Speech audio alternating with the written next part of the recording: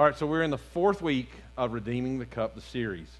I'm going to bring this as fast as I can because uh, we've got several that are going to be baptized in this service. And so the more amens you say, the faster I preach. Can I get an amen? amen. Y'all are in a hurry. All right. All right.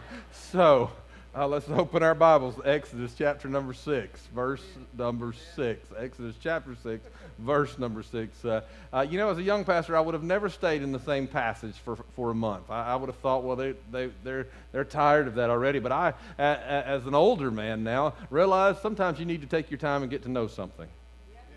In Exodus chapter 6, we've been studying the four cups of promise that we have to drink from if we want to walk in freedom. These four cups of promise, the, the Israeli people, the, the, Jewish people, remember every single year during their uh, Passover celebration. And it comes from this passage of Scripture. So let's identify the, the four cups and then we'll, we'll dive into the message. I'm going to do my best to behave myself, but no promises.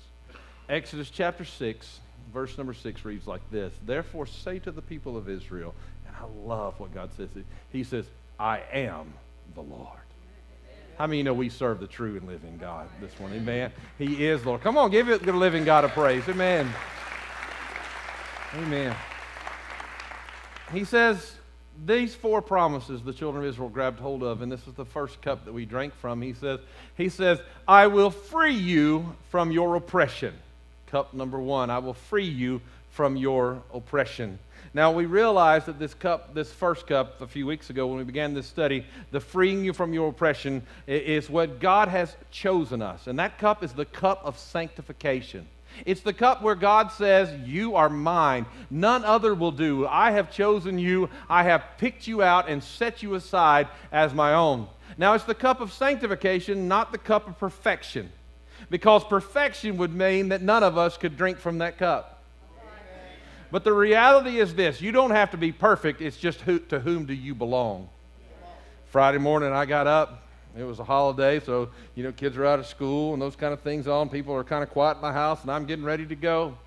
As I'm getting ready to head out Friday morning, I go to do my morning ritual. I go to turn on my coffee pot. Come on now, can I get an amen from anybody? And, and sometimes you just got to have that cup of coffee in the morning. I went to turn on that coffee pot and I, I, I, I turned it on and everything was ready and I reached for my cup. Daddy's cup, come on now. I reached for my cup, and my cup was not, it could not runneth over because it wasn't there. and I was like, oh, somebody's gonna die. Come on now. Somebody has messed with my cup. And about that time, I heard Christina moving faster than she normally moves that early in the morning. And, and, if it had been one of the kids, God help them. But what am I supposed to say to her? Come on now. And she comes running in there and she says, I think I got it by accident. Come on. And, and I'm thinking there's four or five others just like it, but that one has my stains on it. Come on now. And, and I want my cup. And it's the one I've chosen, and, and it's the one that is sanctified, set aside for me. I looked at her and I said, well, I'll drink out of one of these others. Probably won't be as good. Come on now. but but the point was, I wasn't going to take her cup she'd already been drinking out of away from her. But the thing was that it wasn't the cup that I had chosen. It wasn't the cup that I had deemed as mine. It wasn't that. And though the uh, coffee was just as good in another, what I'm trying to tell you is the cup of sanctification tells us this that God could have chosen another, but He chose us. God, God could have saved somebody else, but He saved you and I. And there's nobody else that will do for Him like you do. God is satisfied in you. That's the cup of sanctification. And then, and then, and the second uh, promise is right there in the same way. He says, "I will free you from your oppression." And then he says in the second cup, he said, "I will, I will uh, rescue you from your slavery in Egypt." And we've learned this, and I'm going to say this every week during this series that that that what we've learned is in the first cup, freeing you from your oppression and rescuing you from your slavery. I mean, that sounds kind of the same. But you see, the first cup's where he chose us, and he delivers us. But the second cup is where God says, I brought you out of Egypt, now I'm going to get Egypt out of you. He says, I look, I'm looking inside of where you are. And there's some stuff you're still struggling with. It's kind of like I, I, went down to the car wash yesterday. We had been at a new building that we're going to have to use while our buildings are being torn down, and we were at that building. The road's kind of dirty, and, and my truck was covered with just just mess. And so I went down to the car wash, waited in line like everybody else was there for yesterday, and and, and, and all of a sudden I ran it through, and, and we were looking, and, and Charlie was even like, "Look at all the pretty rainbows." All over the car, and we were coming out, and I, I, could, I just had this image that, that, that that car wash had done a great job. And I got out of the car, and I looked at my truck, and boys, parts of it were gloom, gleaming just right, but dead center of the door, there was a spot that had been missed. Oh, it wasn't perfect. It was still dirty. Listen to me. You see, when God chooses us and sets us aside, He washes us clean and forgives us of all of our sin. But some of us still got some junk that needs to be dealt with. And so the second comes when He says, I'm going to deal with your junk. I'm going to help you get free. I'm going to help you learn what I can do in you when you drink from the cup of deliverance. And so God delivers us as we drink from that cup. Because listen to me, if you look the same as you did before you prayed that prayer of salvation, you need to let God deliver you. Because He wants to change your life. The second cup was the cup of deliverance. The third cup we went to last week is where He says, I will redeem you with a powerful arm and great acts of judgment. What this is telling me is that God didn't choose me and God didn't deliver me just to leave me where I was, that He has a purpose for my life. When you value something, you will exchange something. You will redeem it from its current uh, uh, situation to what you want it to be. And what you redeem it for, you esteem of great, equal or greater value. You bring it into your life. And I want you to understand that Jesus did not redeem you so that you could stay in your past and in your pain. Jesus redeemed you for a purpose. He loves you just the way you are. He loves you right where you are. But Pastor Don, you don't understand. I'm still struggling. I'm still going through things. And he said, You don't understand. I will redeem you with a powerful arm. Psalms 18:35, we talked about last week where he said, I stoop down to make you great. In other words, God says, There is no valley too low. Come on now, there is no pit too deep that I can't rescue you. And God redeems us. And when he redeems us, he sets us in a place of purpose. And so we drink from that cup of redemption that tells me that God's working in me and all that he's been doing is not not just by accident. He's got a plan for my life. You'll either live on purpose or you'll live in pain. You have to make up your mind. And so today we come to the fourth and final cup from this series and the cup that the, the, the Jewish people drink from during Passover. Verse number seven. Every time we've read this, my heart has leapt. I will claim you as my own people and I will be your God. The fourth cup, I will claim you as my own people, and I will be your God. Then you will know that I am the Lord your God who has freed you from your oppression in Egypt. Now, let me just read that, that, that promise one more time. He says, I will claim you as my own people, and I will be your God. Every time we've read that, I just want to go, Praise God. I'm His, and He's mine. And I get so excited about that. And that's what brings us to what the, the Jewish people call the cup of praise. The cup of praise. The fourth and final cup is the cup of praise. And, and, and to understand what they call it, they, they, they, there's a church word that we kind of use a lot in our lives. And as a matter of fact, the other day I was standing with some people, they were speaking in German, and I don't know that much German. I know just enough German to get myself slapped. All right, had some armor buddies teach me some German. Come on now. And, and I was over there one time, and, and, and that was the last time I'll ever speak German. Come on now. Uh, and, and, so I, I, I just I wanted to communicate with them, and they were communicating in German, and so I just kind of leaned in and said, Hallelujah. Because that word works in any language. Come on now.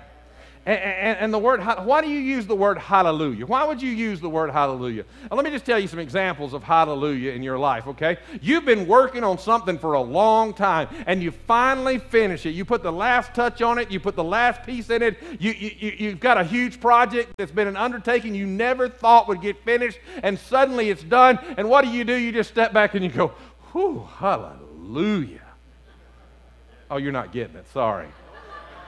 You're, it's Thanksgiving and you've got that one relative who's always late and the turkey's on the table and they finally pull up in the driveway and walk through the door and you go, whoo, hallelujah, we can finally eat. Some of you are getting it. Let me just go one more step further there. You walk by your kid's room and you don't know who has possessed them, and you don't know if you need an exorcism or to rejoice, but it's clean. And you say, Oh my God, hallelujah. Come on. In other words, what you're saying is something has come to a place of fulfillment. And the fourth cup is the cup the Jewish people would say, we now drink from the cup of Hallel.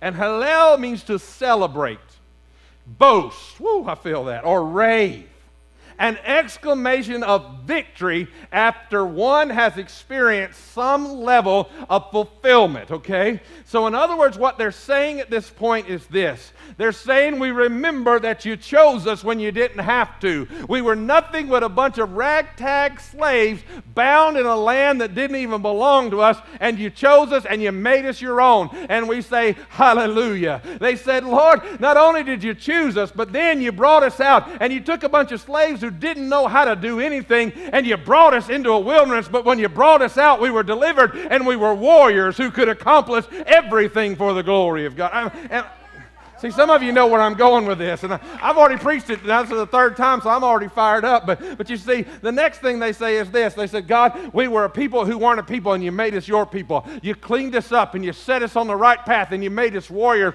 and you gave us a purpose in the nation. You gave us a purpose to do something great. You called us your own, God, and we've drank from the cup of redemption. And so, because of what you've done, now we drink from the cup of Hallel because we say, Lord, we're never going back. We're never going to live that way again. We're going to walk in the purpose you've called us to, and we can say, Look what God has done. Hallelujah. Come on now. Amen. I wish somebody just say hallelujah with me. Hallelujah.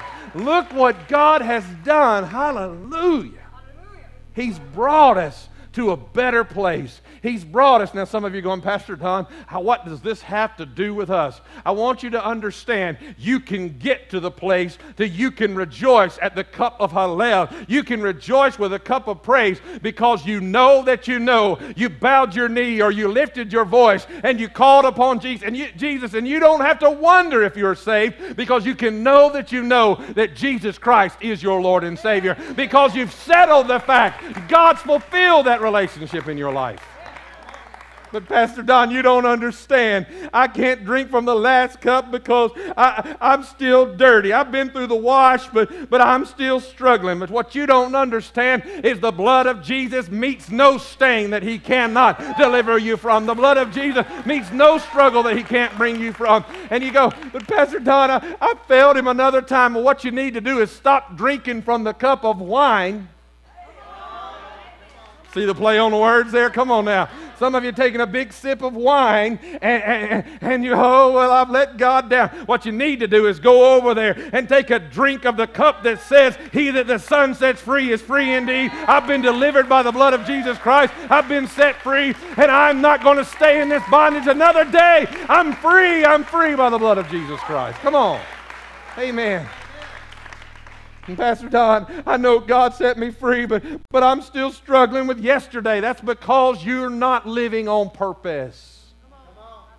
Come on. You're just letting life happen to you. Don't you understand that God didn't call you to let life happen to you? He made you a vessel of the power of the Holy Spirit so that life wouldn't happen to you, but you would happen to life. And when you walk into this world, let me tell you what He said. He said, You are a royal priesthood, you are a holy nation, set aside unto God, peculiar of good works, chosen of the living God. Pastor Don, why are you so fired up? Don't you know you embarrass us? We bring guests and you come in here preach like this. Well, you knew better. Come on now. Amen.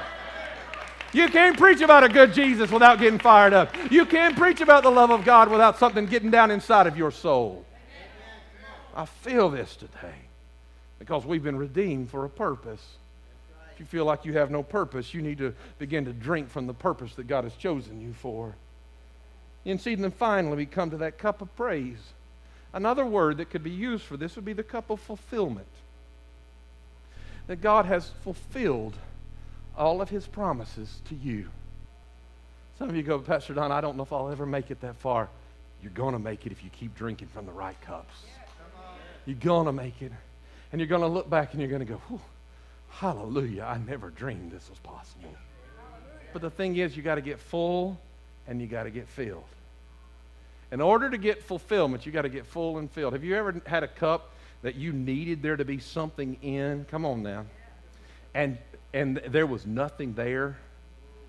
I mean, it's sort of like when you, you go out to eat something spicy. Y'all not following me. I went to India and they said, How do you eat all of this spicy food? I said, We have a church of Latinos. They feed me all the time. They believe the pastor needs to grow. Come on now, amen. now, look, I took a group of our men out to a restaurant and, and, and I've been trying to win this staff to Jesus. And, and I always tell them when they sit down, they set two sauces before you, and one's red and one's green. And here's what I say green means go, red means stop. Green means go, red means stop. You got it? Green means, go. red means, stop. so we sat down, and this one of our team members who's in this room, and I won't name him, but he knows I'm preaching about him. They set a plate down before him, and I, I thought, my gosh, he is a man. He took that red spoon and just dug it in and put it all over all four of those tacos. Come on now. I thought, good, not alive. I, I'm going to watch this. He went back over him. I said, Did you hear me say red means stop, brother? He said, Oh, I like it hot.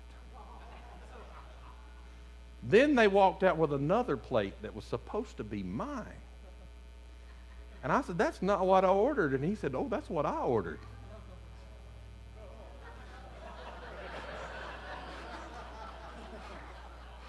I've been trying to win this restaurant owner to Jesus. I wasn't going to send that food back for nothing. They slid that plate over in front of me. I want you to know I could have preached hell, fire, and brimstone with a fiery vengeance on that day.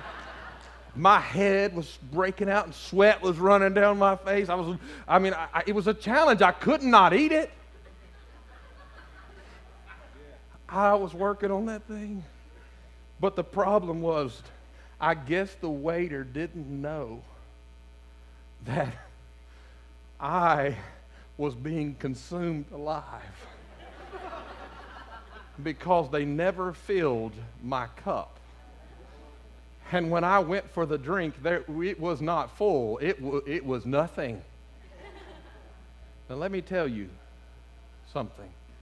Some of you dragging yourself into church because you've been drinking from the wrong cups all week long. And then when praise comes in, that's supposed to rejuvenate you, that's supposed to make you feel fulfilled, that's supposed to put joy down in your soul. Am I making sense to anybody? There's nothing in your cup. It's not full and it's not filled, thus you don't feel any fulfillment. But what you need to understand, the way that this cup gets filled is when you're drinking from these cups the way you're supposed to. Because when you walk through the door and you remember, hey, I messed up this week, but I'm still a blood bought child of the living God, your praise begins to rise. And you begin to say, you know what? I may not be where I want to be yet, but I'm not who I used to be. And suddenly praise, right? Am I making sense to anybody here this morning? Rises up within you and you go, you know what? I'm supposed to be lost and in a gutter, but instead I boldly approach the throne of grace, crying out, Abba, Father, and joy floods your soul. And you feel and you say, you know what, God? I'm not there yet, but hallelujah, look how far I've come. Come on now. Can anybody give that kind of God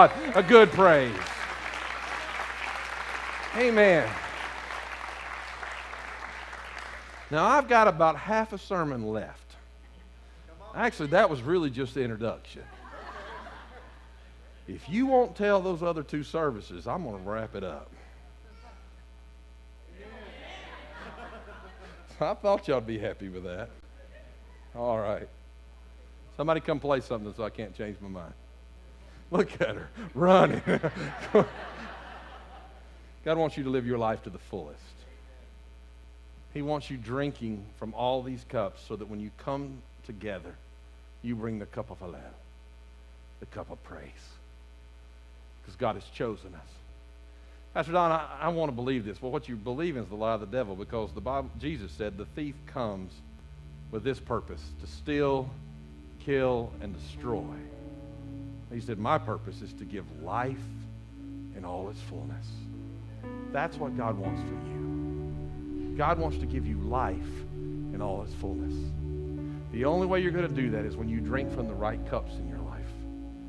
Some of you have been drinking from despair long enough, shame long enough, addiction long enough, struggles and pain long enough. It's time to drink from the fact that God loved you, chose you, delivered you, gave you a purpose, and now you can find fulfillment there. Now, I want to go all the way to the closing of this message because there's three things you're going to have to have to walk in fulfillment. And these are going to become a part of the end of this service. The very first thing is you're going to have to make a contribution. See, some of you made a contribution in this, and when we give those numbers, you're going to celebrate. Now, it's going to be for a church that the Lord has blessed like He's blessed ours, it, it, it's going to be significant. But what we've done is we've invited some smaller churches in on the, the project. And they're going to get to celebrate their contribution as a part of the whole. See, that's what I've been telling you throughout this. There's power in connectivity, there's power in walking as a whole. Because the next thing you're going to need to walk in fulfillment is community. You're going to need to know that you're a part of something greater than yourself. Because until you realize that, you're never going to really be fulfilled in life. And then you're going to need to celebrate. Have you ever tried to celebrate by yourself? I mean, I've done it like, whoo. People in the car next to me like, what's wrong with him? You know? Last night, it's not my thing, but we went to Monster Jam. I, I don't understand what breaks and what works on a vehicle. But watching those little boys' eyes light up when the, a car flipped and caught on fire, they jumped on them and they're like, woo! So you know what I did with them? Woo! High fived each other. We celebrated together. In just a few moments, some people are going to get in this water because they feel a community that they're safe with, that made a contribution into their life, and now they're ready to be a part of the kingdom of heaven. And they're going to testify to what Jesus has done. And you know what we're going to do with them? Woo! Come on now, amen. We're going to celebrate. We're going to celebrate. But before we get there, the most important thing of all is going to happen. I want you to bow your heads right where you're seated. We're going to pray. How dare we give you a message without allowing you to make connection with what God can do? In just a moment, people are going to be baptized. People are going to be moving around you right now as, as some are going to prepare for baptism. But you just bow your heads and listen to my voice for just a moment. Better than that, listen to the voice of the Holy Spirit. God is here. God has chosen us. And He wants you to know what it feels like to drink from the cup of praise because you say, Hallelujah, look what God has done. Some of you here would say, Pastor, I desperately, desperately want to give my life completely over to Christ. Some of you here today say, Pastor, there's some areas of my life that I need to be cleansed from. I know I'm saved, but I've got some places I need to be delivered from. Some of you are too busy living in past pain to live on purpose. God's wanting to change your life today, right where you are. I don't know if you're hearing exactly what I'm saying, but I'm talking to, to each and every one that's here. Let me ask you this way. If you're here and you say, Pastor, I'm ready to really begin to live on purpose. Can I see your hand? Could you just hold it up high? Hands going up all over this place. Thank you. Hey, I'm going to pray for you guys in just a minute. Put those down. Maybe you're here today and you say, Pastor, I need to be delivered. there's some things in my life that have a hold on me and I, I need to be set free. I need deliverance. Can I see your hand if that's you? Would you just hold it up? Hold it. Don't, don't, don't, don't be afraid. The hands are going up. But hold them up high. I want you to hold them up high. Hands all over this place. Thank you. Put those down. Here, the most important moment of this whole day. There's some of you here that haven't drank from the cup of sanctification because you've never made Jesus your Lord. You've never let Him pull you out and make you His own. This is the moment. This is the time. You say today, I want to know Jesus. Get your hand in the air if that's you. I'm not going to embarrass you because I didn't embarrass anybody else, but I want to pray with you. Thank you. Thank you. Thank you. Are there others today that will join with these three that have their hands up in the air? Are there others? I'm waiting for you, waiting just a moment more. God's speaking to your heart, not speaking to your life. Thank you. All right, I want you to join with me by standing.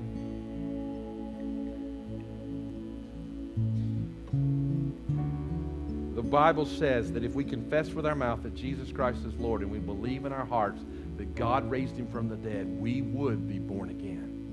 And so today we're going to rejoice with these that are here, remembering what God has done, and we're going to celebrate in this time. This is going to be a prayer we're all going to pray together because somebody prayed it with us, and now we're going to pray, pray it with them. Then we're going to celebrate what God has done. Let's pray the prayer of salvation together today. Jesus, by faith, we rejoice in your promises.